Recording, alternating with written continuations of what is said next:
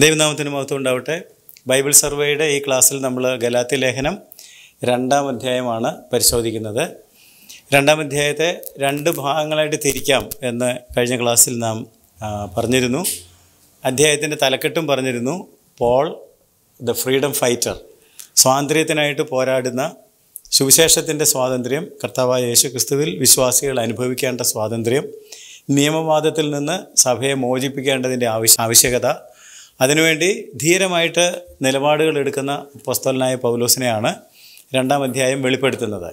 രണ്ട് തലങ്ങളിലാണ് അദ്ദേഹം നിലപാടുകൾ എടുക്കുന്നത് ഒന്ന് എരിശലേം കൗൺസിലിൽ പരസ്യമായിട്ട് രണ്ട് രഹസ്യമായിട്ട് അപ്പോസ്തലനായ പത്രോസ് ഒരു ശരിയായ രീതിയിലല്ലാതെ കാര്യങ്ങൾ കൈകാര്യം ചെയ്തപ്പോൾ അദ്ദേഹത്തോടെ ഇപ്പോൾ പബ്ലിക് ആൻഡ് പ്രൈവറ്റ് എന്ന് വേണമെങ്കിൽ പറയാം രണ്ട് തലങ്ങളിലും സുവിശേഷത്തിൻ്റെ സ്വാതന്ത്ര്യത്തിൽ തന്നെ നിൽക്കണം നിയമവാദത്തിലേക്കോ ഉച്ചനീചത്വങ്ങളിലേക്കോ വർണ്ണവർഗ വ്യത്യാസങ്ങളിലേക്കോ ഒന്നും പോകാനായിട്ട് പാടില്ല എന്നുള്ള കാഴ്ചപ്പാടോടെ ഉറച്ച നിലപാടെടുക്കുന്ന ഒരു പൗലോസിനെയാണ് ഈ രണ്ടാം അധ്യായത്തിൽ നാം കാണുന്നത് ഇത് കഴിഞ്ഞ ക്ലാസ്സിൽ ഞാൻ പറഞ്ഞു വച്ചിരുന്നു നമുക്കിപ്പോൾ രണ്ടാം അധ്യായത്തിൻ്റെ ആദ്യത്തെ പത്ത് വാക്യങ്ങളും പിന്നീട് പതിനൊന്നാം വാക്യം മുതലുള്ള വാക്യങ്ങളും രണ്ട് ഭാഗങ്ങളായിട്ട് പരിശോധിക്കാവുന്നതാണ് ഒന്നാമത്തെ ഭാഗത്തിൽ നമ്മൾ പരിശോധിക്കുന്നത് എരുസലേം കൗൺസിലിൽ എന്ത് നടന്നു എന്നുള്ളതാണ് അവിടെയാണ് പരസ്യമായിട്ട് ഇത് ആമുഖ ക്ലാസ്സിൽ നമ്മൾ പഠിച്ചിട്ടുണ്ട് അതായത് ദുരുപദേശങ്ങളുടെ ചരിത്ര പശ്ചാത്തലം എന്ന് പറഞ്ഞ് എരുസലേം കൗൺസിൽ പരിശോധിച്ചിരുന്നു എങ്കിലും ഈ പുസ്തകം പഠിക്കുന്നതിനോടുള്ള ബന്ധത്തിൽ ഈ പുസ്തകത്തിൽ ഈ ഈ കാര്യം ഉള്ളതുകൊണ്ട് നമുക്ക് ചിലപ്പോൾ അല്പം സ്പീഡിൽ പോകാമായിരിക്കും കാര്യങ്ങൾ ഏകദേശം ഗ്രഹിച്ചിട്ടുള്ളതുകൊണ്ട് എങ്കിലും ആ കാര്യം പരിശോധിക്കേണ്ടതാണ് അതിനുവേണ്ടി നമുക്ക് രണ്ടാം അധ്യായത്തിൻ്റെ ആദ്യത്തെ പത്ത് വാക്യങ്ങൾ വായിച്ചു കേൾക്കാം പതിനാല് ആണ്ട് കഴിഞ്ഞിട്ട് ഞാൻ ബർണബാസുമായി തിത്തോസിനെയും കൂട്ടിക്കൊണ്ട് വീണ്ടും യെരൂശലേമിലേക്ക് പോയി ഞാനൊരു വെളിപ്പാട് അനുസരിച്ച് അത്രേ പോയത് ഞാൻ ഓടുന്നതോ ഓടിയതോ വെറുതെ എന്ന് വരാതിരിക്കുവാൻ ഞാൻ ജാതികളുടെ ഇടയിൽ പ്രസംഗിക്കുന്ന സുവിശേഷം അവരോട് വിശേഷാൽ പ്രമാണികളോട് വിവരിച്ചു എൻ്റെ കൂടെയുള്ള തിത്തോസ് യവനെങ്കിലും പരിച്ഛേദന ഏൽക്കുവാൻ അവനെ ആരും നിർബന്ധിച്ചില്ല അതോ നുഴഞ്ഞു വന്ന കള്ള സഹോദരന്മാർ നിമിത്തമായിരുന്നു അവർ നമ്മെ അടിമപ്പെടുത്തേണ്ടതിന് ക്രിസ്തുവേശുവിൽ നമുക്കുള്ള സ്വാതന്ത്ര്യം നോക്കുവാൻ നുഴഞ്ഞു വന്നിരിക്കുന്നു സുവിശേഷത്തിൻ്റെ സത്യം നിങ്ങളോട് കൂടെ നിലനിൽക്കേണ്ടതിന് ഞങ്ങൾ അവർക്ക് ഒരു നാഴിക പോലും വഴങ്ങിക്കൊടുത്തില്ല പ്രമാണികളായവരോ അവർ പണ്ട് എങ്ങനെയുള്ളവരായിരുന്നാലും എനിക്ക് ഏതുമില്ല ദൈവം മനുഷ്യൻ്റെ മുഖം നോക്കുന്നില്ല പ്രമാണികൾ എനിക്ക് ഒന്നും ഗ്രഹിപ്പിച്ചു തന്നിട്ടില്ല നേരെ മറിച്ച് പരിച്ഛേദനയുടെ അപ്പസ്തോലത്വത്തിനായി പത്രോസിനോട് കൂടെ വ്യാപരിച്ചവൻ ജാതികൾക്കായി എന്നോടും കൂടെ വ്യാപരിച്ചതുകൊണ്ട് പത്രോസിന് പരിച്ഛേദനക്കാരുടെ ഇടയിലെ സുവിശേഷ ഘോഷണം എന്ന പോലെ എനിക്ക് അഗ്രചർമ്മക്കാരുടെ ഇടയിലും സുവിശേഷ ഘോഷണം വരമേൽപ്പിച്ചിരിക്കുന്നു എന്നും കണ്ട് എനിക്ക് ലഭിച്ച കൃപ അറിഞ്ഞും കൊണ്ട് തൂണുകളായി എണ്ണപ്പെട്ടിരുന്ന യാക്കോബും കേഫാവും യോഹന്നാനും ഞങ്ങൾ ജാതികളുടെ ഇടയിലും അവർ പരിച്ഛേദനക്കാരുടെ ഇടയിലും സുവിശേഷം അറിയിക്കുവാൻ തക്കവണ്ണം എനിക്കും ഭർണബാസിനും കൂട്ടായ്മയുടെ വലങ്കൈ തന്നു ദരിദ്രരെ ഞങ്ങൾ ഓർത്തു കൊള്ളേണം എന്ന് മാത്രം അവർ പറഞ്ഞു അങ്ങനെ ചെയ്യുവാൻ ഞാൻ ഉത്സാഹിച്ചുമിരിക്കുന്നു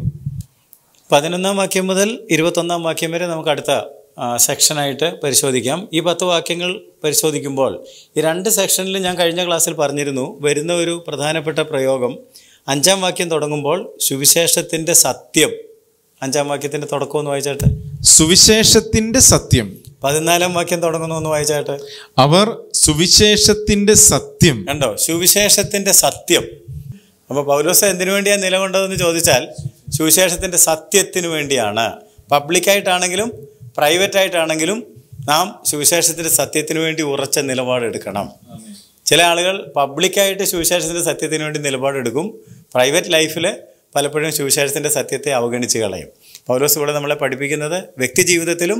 പരസ്യ ജീവിതത്തിലും സുവിശേഷത്തിൻ്റെ സത്യം തിളങ്ങി നിൽക്കണം അതിനുവേണ്ടി ഉറച്ച നിലപാട് വേണം അങ്ങനെയാണ് സ്വാതന്ത്ര്യം എല്ലാ അർത്ഥത്തിലും പൂർണ്ണമാകുന്നത് നമുക്ക് ആദ്യത്തെ പത്ത് വാക്യങ്ങൾ പരിശോധിക്കുമ്പോൾ ക്രിസ്തുവിലുള്ള സ്വാതന്ത്ര്യം ജാതികൾക്ക് വേണ്ടി ഉയർത്തിപ്പിടിച്ച ഏറ്റവും ഉന്നതമായ ഒരു ചരിത്ര സംഭവമാണ് എരിശിലേം കൗൺസിൽ എന്ന് പറയുന്നത് ഈ കൗൺസിലിൽ ജാതികളുടെ ഇത് നേരത്തെ പരിശോധിച്ചിട്ടുള്ളതും മിക്കവാറും ആളുകൾക്ക് അറിയാവുന്നതുമായതുകൊണ്ട് നമുക്ക് അത്യാവശ്യമുള്ള കാര്യങ്ങൾ മാത്രം വായിച്ചും പരിശോധിച്ചും പോവുകയാണെങ്കിൽ ഒന്നാം വാക്യം നമ്മൾ പരിശോധിക്കുമ്പോൾ രണ്ടാം അധ്യായത്തിൻ്റെ ഒന്നാം വാക്യം പരിശോധിക്കുമ്പോൾ ജാതികളുടെ ക്രിസ്തുവിനുള്ള സ്വാതന്ത്ര്യത്തെ ഉയർത്തിപ്പിടിച്ച ജാതികളുടെ മാത്രമല്ല എല്ലാവരുടെയും ജാതികളാണ് ഇവിടെ പ്രശ്നത്തിലായിരിക്കുന്നത് കാരണം ജാതികൾക്ക് പരിച്ഛേദന വേണമെന്നും ന്യായപ്രമാണം വേണമെന്നും ഒക്കെ വാദിച്ചുകൊണ്ടിരിക്കുന്നതുകൊണ്ടാണ് ജാതികളുടെ ഞാൻ എടുത്തു പറഞ്ഞത് ജാതികളാണെങ്കിലും യഹൂദന്മാരാണെങ്കിലും ക്രിസ്തുവിലുള്ള സ്വാതന്ത്ര്യം അനുഭവിക്കണം അതിൽ ജാതികളുടെ കേസ് വാദിക്കുന്നതിന് വേണ്ടി വന്ന മൂന്ന് നേതാക്കന്മാരാണ് പൗലോസ് ബെർണബാസ് തീത്തോസ് ഒന്നാം വാക്യം ഒന്ന് വായിച്ച മൂന്ന് പേരുടെ പേരൊന്ന് കണ്ടുപിടിച്ച പതിനാല് ആണ്ട് കഴിഞ്ഞിട്ട് ഞാൻ ബർണാബാസുമായി തിത്തോസിനെയും കൂട്ടിക്കൊണ്ട് വീണ്ടും ജെറുസലേമിലേക്ക് പോയി ഞാൻ എന്ന് പറഞ്ഞാൽ പൗലോസ് ബർണബാസ് തീത്തോസ് ഇവർ മൂന്ന് പേരാണ് ജാതികൾക്ക് അനുകൂലമായിട്ട് എരിശലേം കൗൺസിലിൽ ഒരു നിലപാട് എടുത്തത് ഇവരെ മൂന്നുപേരെ നിങ്ങൾക്ക് പരിചയമുണ്ട് ബൈബിൾ സർവേ പഠിക്കുന്ന ആളുകൾക്ക് പൗലോസിനെ കുറിച്ച് ഞാൻ കൂടുതൽ പരിചയപ്പെടുത്തേണ്ടതില്ല കാരണം കഴിഞ്ഞ ക്ലാസ്സിൽ തന്നെ അദ്ദേഹം പ്രോസിക്യൂട്ടറായിരുന്നെന്നും വിശ്വാസിയായെന്നും പ്രസംഗകനായെന്നും ഒക്കെ പറഞ്ഞല്ലോ ഭരണവാസിനെ നമ്മൾ അപ്പോസ്തോല പ്രവൃത്തിയിൽ നന്നായിട്ട് പഠിച്ചിട്ടുണ്ട് കുപ്രോസ് ദ്വീപുകാരനായിരുന്ന ഒരു ലേവ്യൻ ജോസഫ് എന്നായിരുന്നു പേര് അദ്ദേഹം അപ്പോസ്തോലന്മാർ മറുപേര് വിളിച്ചതാണ് ഭരണബാസ് അതിൻ്റെ അർത്ഥം പ്രബോധന പുത്രൻ ആളുകളെ പ്രോത്സാഹിപ്പിക്കുന്ന നേച്ചറുള്ള ഒരാളായിരുന്നു പൗലോസിനെ സുവിശേഷത്തിൻ്റെ മുഖ്യ ധാരയിലേക്ക് കൊണ്ടുവന്നതിൻ്റെ ഉത്തരവാദിത്വം ഭരണബാസനായിരുന്നു അങ്ങനെ അന്ത്യോക്കയിലെ ജാതികളുടെ സഭയിൽ ആദ്യം കടന്നു ചെന്ന് പൗലോസിനെയും കൊണ്ടുവന്ന് മുഖ്യധാരയിലേക്ക് കൊണ്ടുവന്ന് ഒരുമിച്ച് സുവിശേഷത്തിന് വേണ്ടി പ്രവർത്തിച്ച ആളുകളാണ് ഭരണബാസും പൗലോസും എന്ന് ഓർക്കുക പൗലോസിൻ്റെ കൂടെ അദ്ദേഹം പ്രവർത്തിച്ച കാര്യങ്ങൾ അപ്പസോൽ പ്രവർത്തി ഒമ്പത് പതിനൊന്ന് പതിമൂന്ന് മുതൽ പതിനാല് വരെയുള്ള അധ്യായങ്ങളൊക്കെ വായിച്ചാൽ കണ്ടുപിടിക്കാനായിട്ട് സാധിക്കും അല്ലെങ്കിൽ നിങ്ങൾ അപ്പസ്തോല പ്രവൃത്തിയുടെ ക്ലാസ്സിലേക്ക് പോയിട്ട് ബെർണബാസിനെ കുറിച്ച് നമ്മൾ പ്രത്യേകം പഠിച്ച സ്ഥലമുണ്ട് എടുത്തു നോക്കിയാൽ കാര്യങ്ങളെല്ലാം ഗ്രഹിക്കാനായിട്ട് സാധിക്കും പിന്നെ മൂന്നാമത് നമ്മൾ കാണുന്നത് തീത്തോസിനെയാണ് തീത്തോസ് യവനനായിരുന്നു പൗലോസിൻ്റെ പ്രവർത്തനം കൊണ്ട് സുവിശേഷത്തിലേക്ക് വന്ന ഒരു വിശ്വാസിയായിരുന്നു തീത്തോസ് അദ്ദേഹം പൗലോസിൻ്റെ ഒരു സഹപ്രവർത്തകനായിട്ടും മാറി എരിസലേം കൗൺസിലിൽ പങ്കെടുക്കുന്നതിനായിട്ട് ഇവർ മൂന്ന് പേരുമാണ് കൂടാതെ ഇവരുടെ കൂടെ ഈ സഭകളിൽ നിന്ന് വന്ന മറ്റ് ചിലരും ഉണ്ടായിരുന്നു ജാതികീയ സഭകളിൽ നിന്ന് വന്ന മറ്റ് ചിലരും ഉണ്ടായിരുന്നു ഇനി എരുസലേം സഭയെ പ്രതിനിധാനം ചെയ്ത് അവിടെ ഉണ്ടായിരുന്നത് തൂണുകൾ എന്നറിയപ്പെട്ടിരുന്ന എരുസലേം സഭയുടെ തൂണുകൾ എന്നറിയപ്പെട്ടിരുന്ന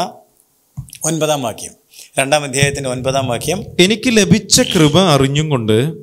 തൂണുകളായി എണ്ണപ്പെട്ടിരുന്ന യാക്കോബും കേഫാബും യോഹന്നാനും പത്രോസ് യോഹന്നാൻ യാക്കോബ് ഈ മൂന്ന് ആളുകളെയാണ് പില്ലേഴ്സ് ഓഫ് ജെറൂസലേം ചർച്ച് എരുസലേം സഭയുടെ തൂണുകളായിട്ട് എണ്ണപ്പെട്ടിരുന്നത് പത്രോസ് ദൈവരാജ്യം ജാതികൾക്കും യഹൂദന്മാർക്കും തുറന്നു കൊടുത്ത ആളാണ് എന്ന് നമുക്കറിയാം ശമരിയർക്കും തുറന്നു കൊടുത്തത് പത്രോസാണ് യോഹന്നാൻ കർത്താവായ യേശുക്രിസ്തുവിൻ്റെ ഇന്നർ ഗ്രൂപ്പിൽ കോർ ഗ്രൂപ്പിൽപ്പെട്ട ഒരാളായിരുന്നു ഓർക്കുന്നുണ്ടാവുമല്ലോ എപ്പോഴും പ്രാർത്ഥനയ്ക്കൊക്കെ പോകുമ്പോഴും ശുശ്രൂഷകൾക്ക് പോകുമ്പോഴും കർത്താവിൻ്റെ കൂടെ യോഹന്നാൻ ഉണ്ടായിരിക്കും ആദ്യകാലത്ത് പത്രോസും യോഹന്നാനും കൂടാണ് പല ശുശ്രൂഷകളും ചെയ്തിരുന്നതെന്ന് അപ്പോസോല പ്രവൃത്തി മൂന്നാം അധ്യായമൊക്കെ വായിച്ചാൽ പത്രോസും യോഹന്നാനും പ്രാർത്ഥനാ സ്ഥലത്തേക്ക് ചെല്ലുമ്പോൾ നമ്മൾ അപ്പോസോല പ്രവൃത്തിയിൽ ഇതൊക്കെ പഠിച്ചിട്ടുണ്ട് യാക്കോബ് എന്ന് പറയുന്നത് കർത്താവായ യേശു ക്രിസ്തുവിൻ്റെ സഹോദരനായ യാക്കോബാണ് അദ്ദേഹം ആദ്യകാലത്ത് യേശു ജീവിച്ചിരുന്നപ്പോൾ ഒരു വിശ്വാസി അല്ലായിരുന്നു എന്നാൽ യേശു ഉയർത്തെഴുന്നേറ്റിട്ട് യാക്കോബിന് പ്രത്യക്ഷപ്പെട്ടു എന്ന് ഒന്ന് കൊരിന്ത ലേഖനം പതിനഞ്ചാം അധ്യായത്തിൽ നാം വായിക്കുന്നുണ്ട് എന്നിട്ട് പരിശുദ്ധാത്മാവിനെ പ്രാപിക്കുകയും കർത്താവിനെ കാണുകയും ഒക്കെ ചെയ്തതിന് ശേഷം ഒരു മൂപ്പൻ സ്ഥാനത്തേക്ക് അധ്യക്ഷ സ്ഥാനത്തേക്ക് ഉയർന്നു അദ്ദേഹമാണ് എരിശിലേം സഭയെ നയിച്ചിരുന്നത് അതുകൊണ്ട് തന്നെ എരിശിലേം കൗൺസിലിൻ്റെ അധ്യക്ഷ സ്ഥാനത്തിരുന്നതും യാക്കോബായിരുന്നു അദ്ദേഹം എഴുതിയ ലേഖനം നമുക്ക് പുതിയ നിയമത്തിലുണ്ട് യാക്കോബ് എഴുതിയ ലേഖനം ഇതാണ് യാക്കോബിനെക്കുറിച്ച് പൊതുവായിട്ട്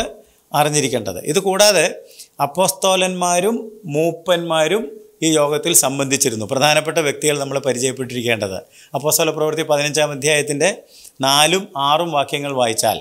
നിങ്ങൾ അപ്പസ്വല പ്രവൃത്തി പതിനഞ്ചാം അധ്യായവും ഗലാത്തി ലേഖനം രണ്ടാം അധ്യായവും കൂടെ ഒരുമിച്ച് വെച്ച് വായിച്ചാലാണ് ഈ കൗൺസിലിൻ്റെ പൂർണ്ണ ചിത്രം നമുക്ക് ലഭിക്കുന്നത് നാലാം വാക്യം അവർ യെരുശലേമിൽ എത്തിയപ്പോൾ സഭയും അപ്പസ്തോലന്മാരും മൂപ്പന്മാരും അപ്പസ്തോലന്മാരും മൂപ്പന്മാരും സഭയും അവരെ കൈക്കൊണ്ടു ആറാം വാക്യം ഈ സംഗതിയെക്കുറിച്ച് വിവരിക്കുവാൻ അപ്പസ്തോലന്മാരും മൂപ്പന്മാരും വന്നുകൂടി അപ്പോൾ അപ്പസ്തോലന്മാരുണ്ടായിരുന്നു മൂപ്പന്മാരുണ്ടായിരുന്നു പേര് പറഞ്ഞ മൂന്ന് തൂണുകളായ യാക്കോബ് യോഹന്നാൻ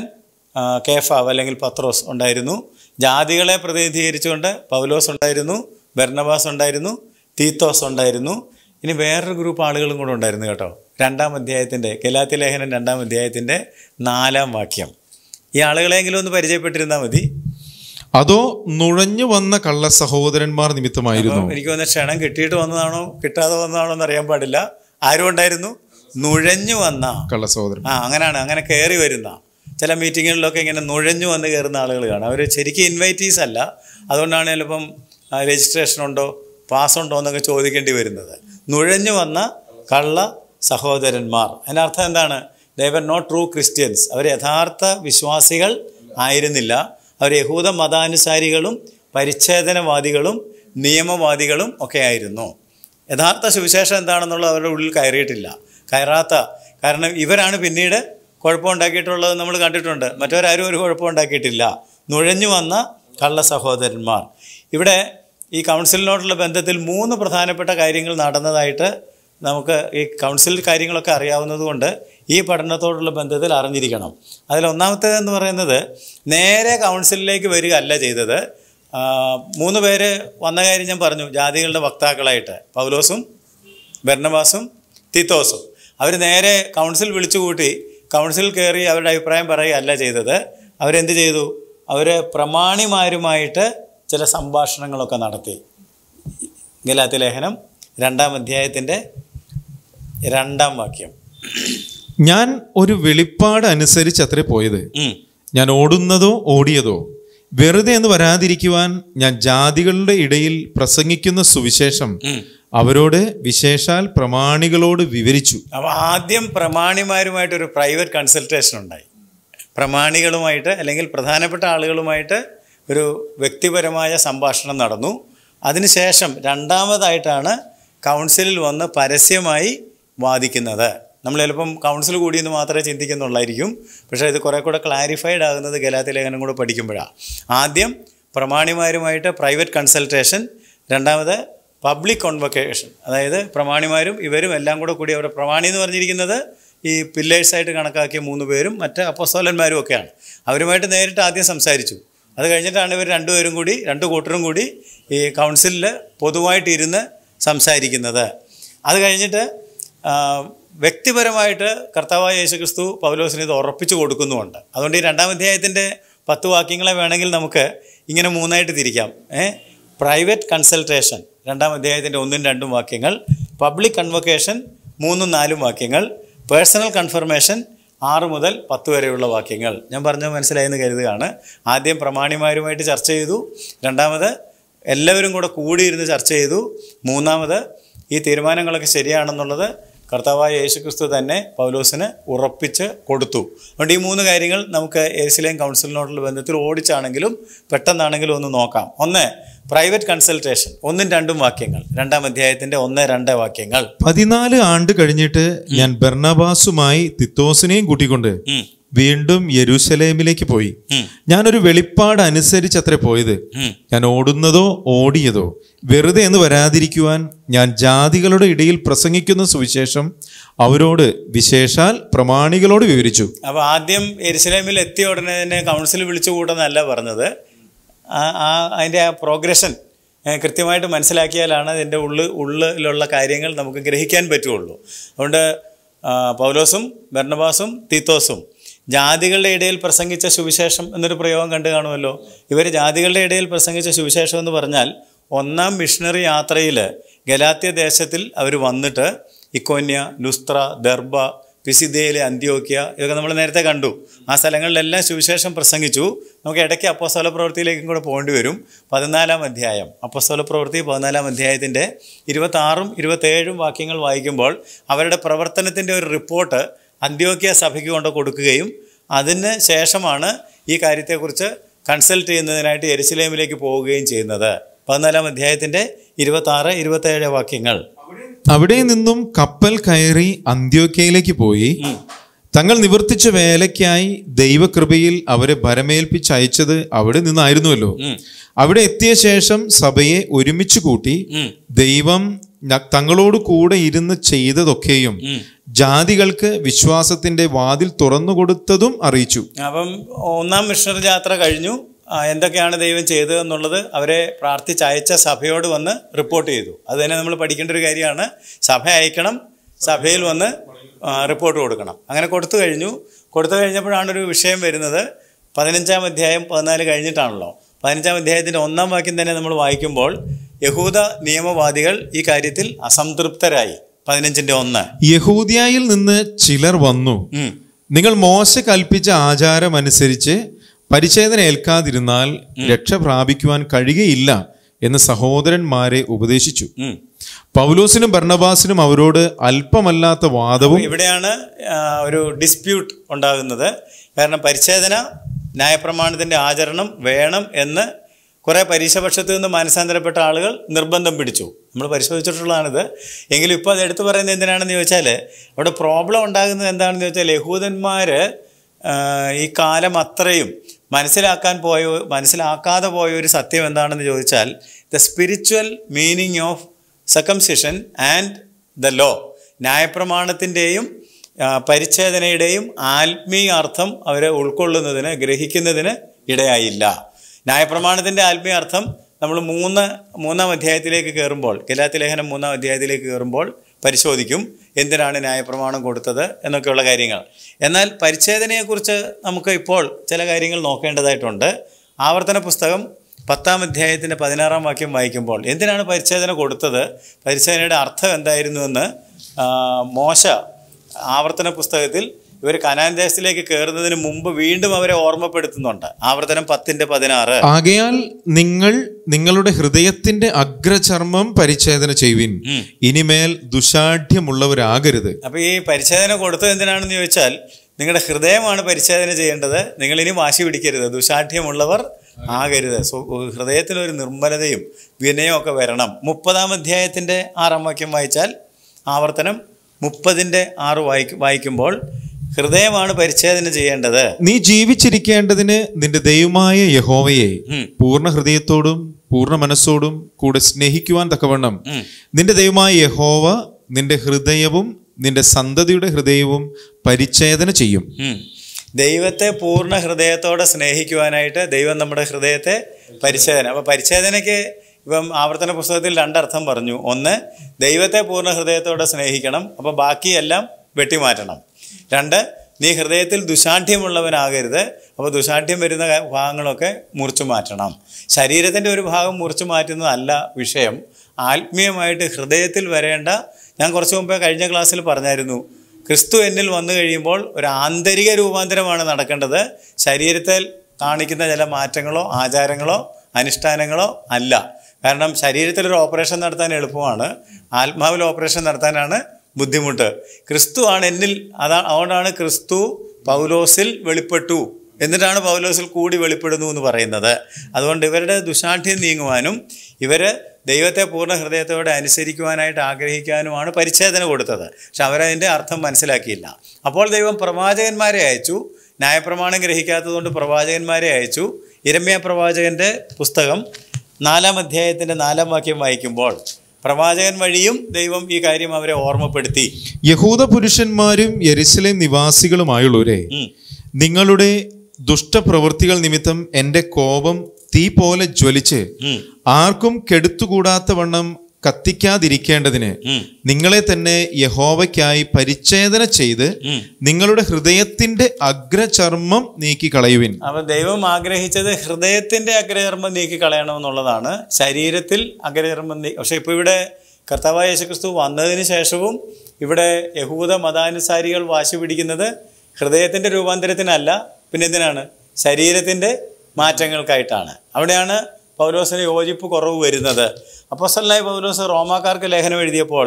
അവരെ ഈ കാര്യം ഓർമ്മപ്പെടുത്തുന്നുണ്ട് റോമാലേഖനം രണ്ടാം അധ്യായത്തിൻ്റെ ഇരുപത്തഞ്ച് മുതൽ ഇരുപത്തൊമ്പത് വരെയുള്ള വാക്യങ്ങൾ വായിക്കുമ്പോൾ എന്താണ്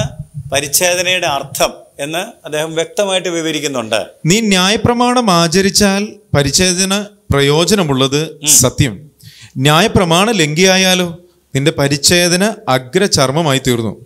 അഗ്രചർമ്മി ന്യായപ്രമാണത്തിന്റെ നിയമങ്ങളെ പ്രമാണിച്ചാൽ അവന്റെ അഗ്രചർമ്മം പരിച്ഛേദന എന്ന് എണ്ണുകയില്ലയോ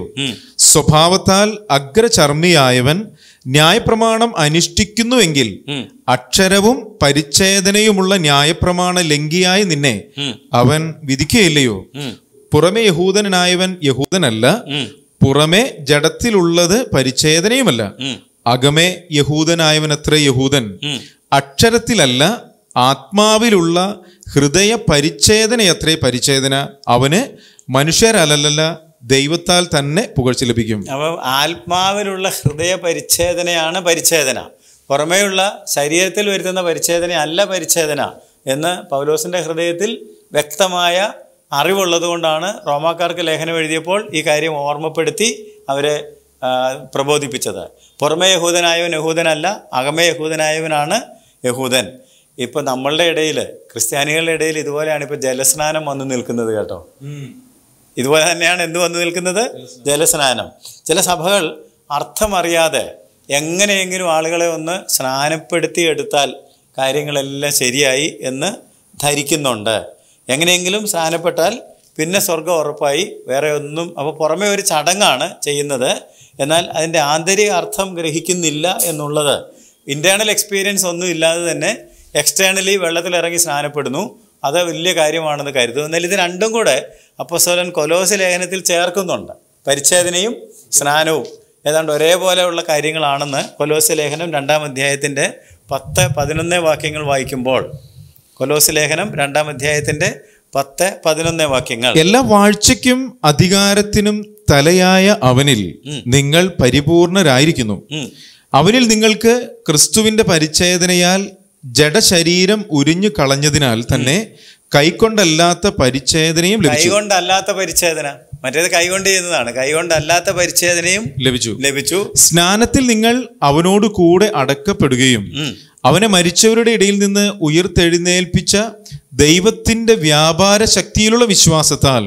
അവനോടുകൂടെ നിങ്ങളും ഉയർത്തെഴുന്നേൽക്കുകയും ചെയ്തു അപ്പൊ സ്നാനവും പരിച്ഛേദനയും ഒരുപോലുള്ള കാര്യങ്ങളാണ് എന്നുള്ളതുകൊണ്ടാണ് ഞാനിവിടെ സ്നാനം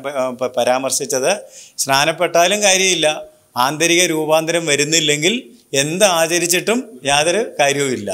പരിച്ഛേദനയും അഗ്രചർമ്മവും ഒക്കെ ഇതുപോലെ തന്നെയുള്ള കാര്യങ്ങളാണ് നാം ശരീരത്തിൽ എന്തെല്ലാം ചെയ്തു എന്നുള്ളതല്ല നമ്മുടെ ആത്മാവിൽ അകത്ത് മാറ്റങ്ങൾ വരുന്നോ എന്നുള്ളതാണ് സുപ്രധാനമായിട്ടുള്ള കാര്യം കൊലോസ്ലേഖനം രണ്ടാം അധ്യായത്തിൻ്റെ പതിമൂന്നാം വാക്യം വായിക്കുമ്പോൾ അതിക്രമങ്ങളിലും നിങ്ങളുടെ ജഡത്തിന്റെ അഗ്രചർമ്മത്തിലും മരിച്ചവരായിരുന്നു നിങ്ങളെയും അവൻ അവനോട് കൂടെ ജീവിപ്പിച്ചു നമ്മൾ ജഡത്തിന്റെ അഗ്രചർമ്മത്തിൽ ഇരുന്നാലും നമ്മളെ ജീവിപ്പിക്കുവാൻ ആർക്ക് കഴിയും യേശുവിന് കഴിയും അപ്പം ആ അഗ്രചർമ്മം നീക്കിയാലേ ജീവൻ വരുള്ളൂ എന്ന് ഒരിടത്തും വാക്യം പറഞ്ഞിട്ടില്ല ഫിലിപ്പിയ ലേഖനം മൂന്നാം അധ്യായത്തിൻ്റെ രണ്ട് മൂന്ന് വാക്യങ്ങൾ വായിക്കുമ്പോൾ നാമല്ലോ പരിച്ഛേദനക്കാർ എന്ന് അപ്പോൾ സോലൻ പറയുകയാണ് ദൈവത്തിൻ്റെ ആത്മാവ് കൊണ്ട് ആരാധിക്കുകയും ജഡത്തിൽ ആശ്രയിക്കാതിരിക്കുകയും ചെയ്യുന്ന നാം തന്നെ നാമല്ലോ പരിച്ഛേദനക്കാർ ദൈവത്തിന്റെ ആത്മാവ് കൊണ്ട് ആരാധിക്കുകയും ക്രിസ്തു യേശുവിൽ പ്രശംസിക്കുകയും ജഡത്തിൽ ആശ്രയിക്കാതിരിക്കുകയും ചെയ്യുന്ന നാം തന്നെ ജഡത്തിൽ ആശ്രയിക്കാതിരിക്കുക no confidence in the flesh എന്നാണ് അതായത് നമ്മുടെ കോൺഫിഡൻസ് എവിടെ അല്ല ജഡത്തിലല്ല നമ്മുടെ കോൺഫിഡൻസ് ശരീരത്തിലല്ല നമ്മുടെ കോൺഫിഡൻസ് ആത്മാവിലാണ് അകത്തെ മനുഷ്യനിലാണ് ആ കാര്യം ഈ എരിസ്ലേം കൗൺസിലിൽ വന്നിരിക്കുന്ന ആളുകൾക്ക് ബോധ്യപ്പെടാൻ വേണ്ടിയാണ് പൗലോസ് പ്രമാണിമാരുമായിട്ട് സംഭാഷിക്കുന്നത് നമുക്ക് തിരിച്ച് കൗൺസിലിലേക്ക് വരികയാണെങ്കിൽ അപ്പോസോല പ്രവൃത്തി പതിനഞ്ചാം അധ്യായത്തിൻ്റെ രണ്ടാം വാക്യം വായിക്കുമ്പോൾ അല്പമല്ലാത്ത വാദവും തർക്കവും ഉണ്ടായി ഡിസ്പ്യൂട്ട് സെറ്റിൽ ചെയ്യുന്നതിനായിട്ട് പതിനഞ്ചിന്റെ രണ്ട് പൗലോസിനും ഭർണബാസിനും അവരോട് അല്പമല്ലാത്ത വാദവും തർക്കവും ഉണ്ടായിട്ട് പൗലോസും ഭർണബാസും അവരിൽ മറ്റു ചിലരും ഈ തർക്ക സംഗതിയെ പറ്റി യരുഷലേമിൽ അപ്പസ്തോലന്മാരുടെയും മൂപ്പന്മാരുടെയും അടുക്കൽ പോകണം എന്ന് നിശ്ചയിച്ചു ഇവിടെ നമ്മളൊരു കാര്യം പഠിക്കാനായിട്ടുണ്ട് അതെന്താണെന്ന് ചോദിച്ചാല് എരുസലേം കൗൺസിലിലേക്ക് അവിടെയുള്ള അപ്പസ്തോലന്മാരുടെ അടുത്തേക്ക് പോകാനായിട്ട് പൗലോസും ബർണബാസും തീത്തോസും തീരുമാനിച്ചു അങ്ങനെയാണ് ഈ അവരുടെ ഡിസ്പ്യൂട്ട് അവരുടെ ഭിന്നാഭിപ്രായം തീർക്കാൻ കഴിയുകയുള്ളൂ ഇപ്പോൾ ഹൃദയത്തിൽ ആത്മീയ പ്രകാശനം ലഭിച്ച ഒരാൾ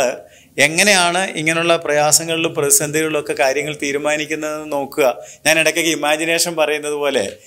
നമ്മളാണ് ഈ കാലഘട്ടത്തിൽ ഇങ്ങനെ ഒരു പ്രശ്നം പരിഹരിക്കാനായിട്ട് പോയതെങ്കിൽ നമ്മൾ എന്ത് ചെയ്തേനെ ഇപ്പോൾ ഇവിടെ ഇവിടുന്ന് ആരൊക്കെയാണ് പോയത് കുറേ സഭകളുടെ പേര് പറഞ്ഞായിരുന്നു അതായത് പിസിദ്ധ്യയിലെ അന്ത്യോക്യ ലുസ്ത്ര ദർബ ഇക്കോന്യ അപ്പം നാലഞ്ച് സഭകൾ അവിടെ ഉണ്ട് കേട്ടോ അല്ലെങ്കിൽ മിനിമം നാല് സഭകളുടെയെങ്കിലും പേര് പറഞ്ഞു അപ്പോൾ ആ സഭകളുടെ പ്രശ്നം ചർച്ച ചെയ്യാനായിട്ട് ഒരു കൗൺസിലിലേക്ക് എരിശിലേമിലേക്ക് പോകുമ്പോൾ നമ്മളാണെങ്കിൽ പറഞ്ഞതിന് ഒരു സഭയിൽ നിന്ന് രണ്ട് പ്രതിനിധികളെങ്കിലും പോയിരിക്കണം ഡെമോക്രസി ജനാധിപത്യ രീതിയിൽ അല്ലെങ്കിൽ ഇവിടെ ഒരു ഇക്കോന്യക്കാർ പറഞ്ഞതിനേയും ഇക്കോന്യ നിന്ന് പോയില്ലെങ്കിൽ പറഞ്ഞതിനേയും ആ തീരുമാനം ഞങ്ങൾക്ക് സ്വീകാര്യമല്ല കാരണം ഞങ്ങളുടെ പ്രതിനിധികളും ഞങ്ങളുടെ പാസ്റ്ററും ആ മീറ്റിങ്ങിൽ വിളിച്ചില്ല പോയില്ല അത് തന്നെ വലിയൊരു അടിക്ക് ഇപ്പോഴത്തെ കാര്യം ഞാനീ പറയുന്നത് എന്നാൽ അപ്പോസലായ പൗലോസ് ആത്മാവിൽ പ്രചോദിതനായി അകത്ത് ഈ വെളിച്ചം ലഭിച്ചിട്ടുള്ളത് കൊണ്ട് സഭയെ കൂട്ടി ജനാധിപത്യ രീതിയിൽ രണ്ട് പ്രതിനിധി രണ്ട് പ്രതിനിധി ജനാധിപത്യ രീതി എന്ന് പറഞ്ഞിട്ടുള്ളൊരു കൗൺസിലല്ല ഇവിടെ നടന്നതെന്നുള്ളത് തികച്ചും ആത്മീയമായിട്ടുള്ളൊരു ഒരു കൗൺസിലാണ് നടക്കുന്നതെന്നുള്ള കാര്യം ഓർക്കണം അവിടെ സഭകൾ പ്രാതിനിധ്യത്തിന് വേണ്ടിയോ എന്നുള്ളതിനെക്കുറിച്ചോ കൂടുതൽ പ്രാധാന്യം ഒരു സഭയ്ക്ക് ലഭിച്ചെന്നുള്ളതിനെക്കുറിച്ചോ ഒന്നും ഒരു അഭിപ്രായ വ്യത്യാസങ്ങളും ഉണ്ടാക്കുന്നില്ല ഞാൻ പറഞ്ഞത് നിങ്ങൾക്ക് മനസ്സിലായെന്ന് എനിക്ക് സംശയമുണ്ട് ഇന്നത്തെ സഭകളൊക്കെ ഇതിനകത്ത് ഭയങ്കര നിഷ്ഠയും വാശിയും കൃത്യതയൊക്കെ ഉള്ള ആളുകളാണ് രണ്ടുപേർ വന്നില്ലെങ്കിൽ വേണമെങ്കിൽ മീറ്റിംഗ് മാറ്റി വെച്ച് കളയും അതിൻ്റെ ഒന്നും ആവശ്യമില്ല കാരണം ദൈവിക കാര്യങ്ങൾ ജനാധിപത്യ രീതിയിൽ പരിഹരിക്കേണ്ടത് അല്ല പൊതുജന അഭിപ്രായ പ്രകാരമല്ല ഒരു തീരുമാനവും എടുക്കേണ്ടത് വോട്ടിട്ടും തീരുമാനിക്കേണ്ടതില്ല